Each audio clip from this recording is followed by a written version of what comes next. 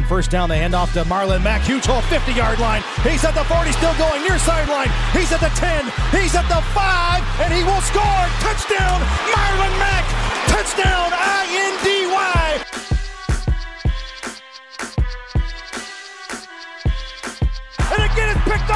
Darius Leonard. Leonard with a second INT, and he's streaking down the near sideline. He's at the 40. He's at the 30. He's at the 20. He's gonna go a pick six for the maniac. Kenny Moore gets to Deshaun Watson. That's a sack for Kenny Moore. Kenny has a pick and now a sack in the game. Horseshoe is back, baby. The horseshoe is back. What is up, Colts Nation? Welcome back to the Bring the Juice podcast. I'm your co host, Derek Larger. Joining me, as always, is your other co host, Cody Felger. Uh, we've been seeing your guys' comments. Really liked uh, the first video of this series of the 2017 draft class video. Make sure you guys continue to check those out. Uh, and we liked your comments.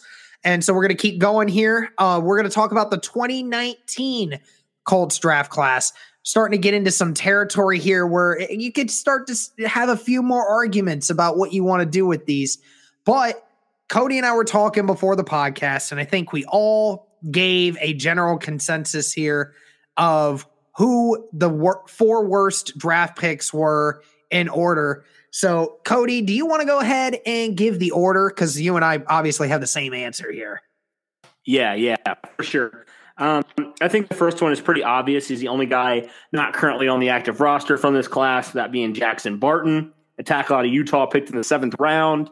Yeah, he's just a guy that never really was going to stiff the final roster.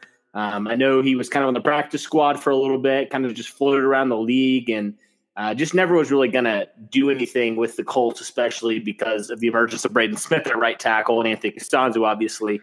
Um, so yeah, he's a guy that's undoubtedly the first, the worst pick here, just because he's not going to contribute to this team. Mm-hmm. Um, and then we went, we actually went then uh, Gary Green, uh, defensive end, Mississippi State. He's a guy. I think he's still on the Colts practice squad, but you know, just with the logjam that we've talked about at that defensive line in that defensive end position, um, there's really probably no hope to make this final roster. Um, but he's a guy that you know had been kind of a practice squad type guy. That's probably what he'll be with the Colts. Um, but you know, he's still on the roster, but he's on the practice squad. And then the other, the the third one here was uh, Javon Patterson, center out of Ole Miss. We never got to see Patterson his rookie year because he tore his ACL before the season started. But he's a guy that the reason why I have him ahead of Jackson Barton and, and Gary Green here is because I feel like Javon Patterson actually has a legitimate chance to compete for a roster spot from this 53 man roster. I mean, the Colts obviously drafted Danny Pinter, and then they they I know uh, Frank Reich and uh, was talking up Jake Eldrenkamp. Um, I know that's a name that some people have kind of hyped up a little bit, kind of a, a backup guard type of guy. But I think that Patterson's the guy that we shouldn't forget about as well. Um, could potentially be, you know, he played center at Ole Miss, so potentially be the backup center there. So he's a guy that I think potentially just because of, you know, besides Danny Pinter, the Colts really didn't address the interior. And I feel like he has a chance now to potentially be a backup um, at one of the center or guard positions. Um, so that's number three. And then the, the last one is EJ Speed, uh, linebacker Tarleton State. Um, we just have not seen a lot of EJ Speed, who's a fifth round pick last year. He really stood out in the preseason, uh, had some really nice games there. But obviously, when you have one of the best trios of linebackers in Darius Leonard, Anthony Walker, and Bobby Okereke, uh, a guy like EJ Speed probably not going to see the field a lot, and he really didn't. Uh, but he has a lot of intangibles that you like. He's got great length. He's got great speed. He lives up to that name. Um, and he's the guy that, you know, we feel like he's similar in a way to Darius Leonard coming out of kind of a smaller school. And, uh, you know, he has a lot of the makings to be a pretty good linebacker. Um, like you said, he's got the length, he's got the intangibles. Now he just has to see can it translate to the NFL level. And we, we, it seems like we see a Chris Ballard pick like this about every year, just a physical freak type of guy. But those are our top four for the worst of this draft class. And I mean, these guys are all, you know, fifth to seventh round picks, which I think is good to hear, you know, from year one. Uh, but Derek, moving on to number five, who do you have here as the fifth worst pick in this 2019 NFL draft?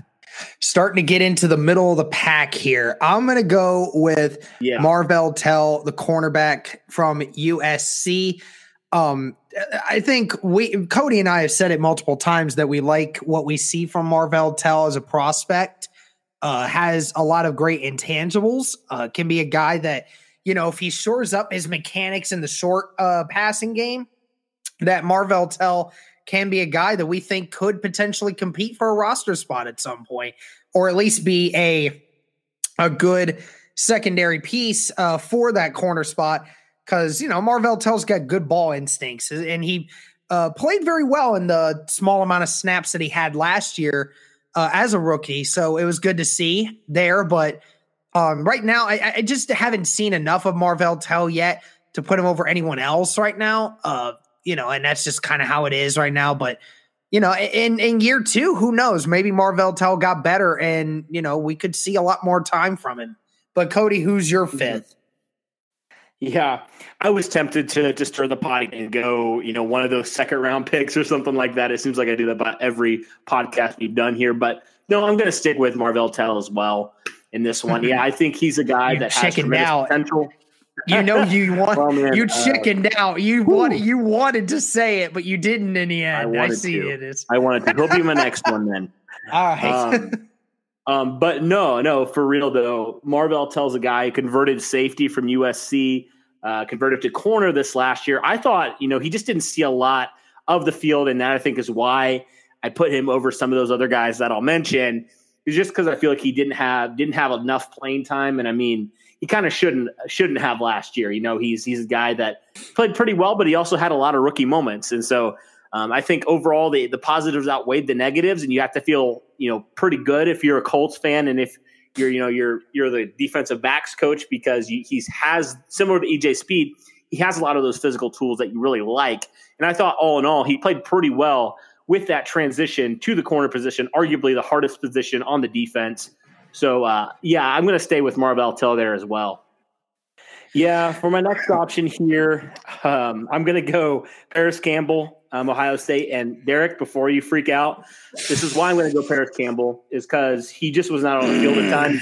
At least, I'm not saying he wasn't good when he was on the field. I get that, and that's probably going to be the basis of your argument. But basically, he only played the seven games, and he was effective when he played. But you know, he just didn't play. And after year one, you know, and he obviously has plenty of time to redeem himself and totally be one of the best picks in this class. And I believe he he has that ability. And I believe the Colts believe he has that ability. And so, uh, but you know, as it stands right now, I think he's the guy that you know just didn't see the field a ton, and the best of the best ability is availability. Um, so that's why I'm going to go here with Parris Campbell. But you know, I very easily could be the next guy who you're probably going to choose. I can see it either way. So uh, definitely want to hear your reaction because I can, I can tell you're not happy. I'm not happy with you. Gosh, it's like you're trying to drag me down. Like I gave your boy props, and you're not giving my boys any. Holy crap! Okay. Um. Well. All right. So I, am I'm gonna go to our our boy and our dear friend here. Uh, I'm going with Ben Banogu um, as the fifth option here, the fifth best draft pick by the Colts in the 2019 draft.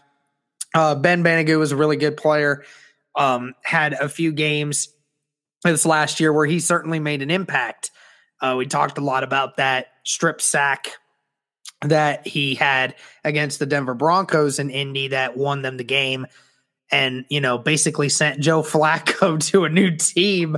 So Ben, we appreciate that one. Um, but uh, I- am going with Ben Banogu here at, at number five because again, I- I'm looking at potential here, and that's why I think that I can't put Parris before Ben because we're now looking at an issue where Ben Banogu is now in the worst situation possible for uh, other than Parris Campbell because of the fact that there's so little flexibility in the in the defensive line group now. And there's a lot more flexibility in the wide receiver group because there's just not much there at the moment.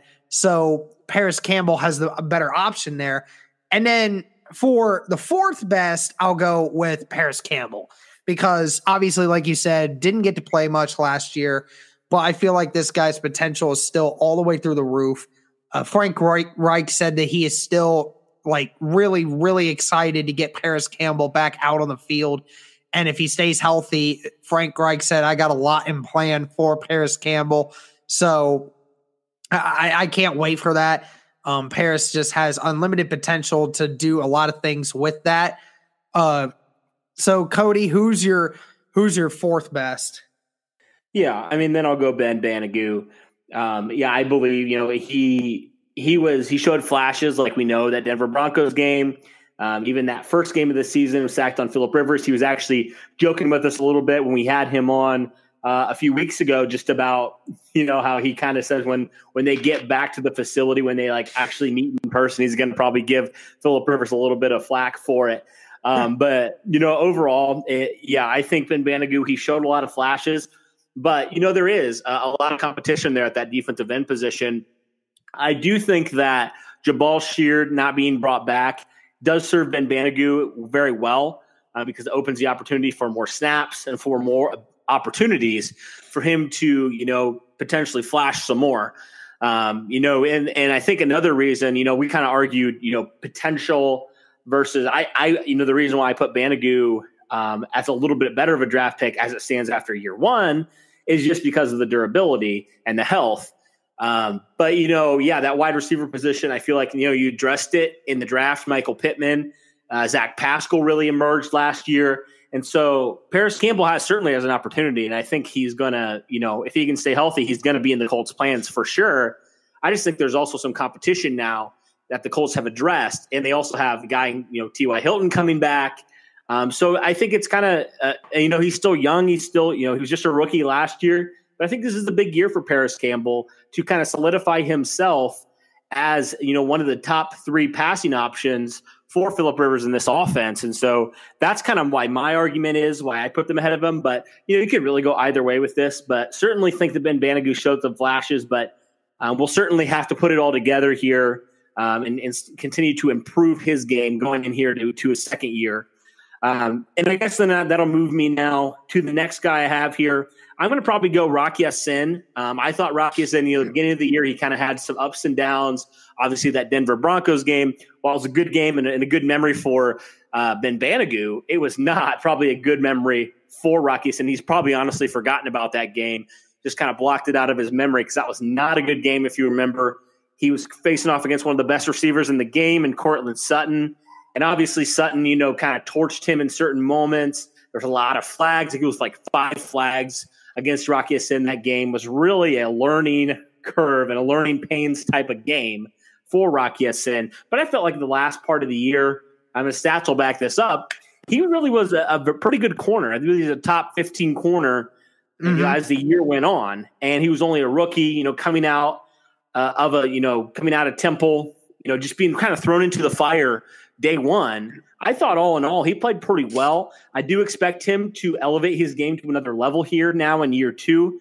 Um, but I feel like just looking at year one, these other two guys that, that we're going to look at here, I just feel like they had phenomenal rookie seasons. I felt like they didn't really have any super rocky games. I mean, they were pretty good all the way through. So that's why I have Rock Ya-Sin here. Still think he's a good player and he's going to continue to ascend and be that top corner on the depth chart for yeah. a lot of years for the Colts. But I got Rock Ya-Sin here um, as the third best pick in this draft. Who do you have, Derek?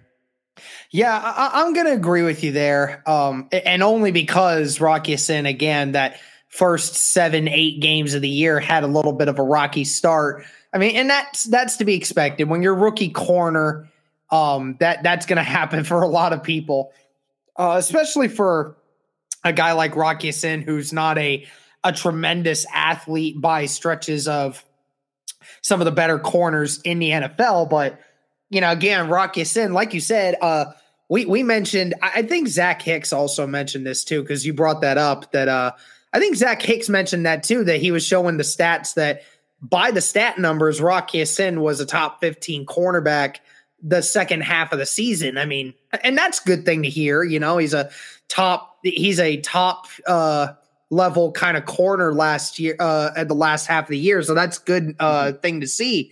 Just so that you know, the more experience he got, he just started to learn where he needed to be and to make plays. I mean, he had a couple of interceptions towards the end of the year, if I'm not mistaken. So, you know, Rock Ya-Sin started getting better. He started staying healthier. You know, he was able, able to stay on the field longer.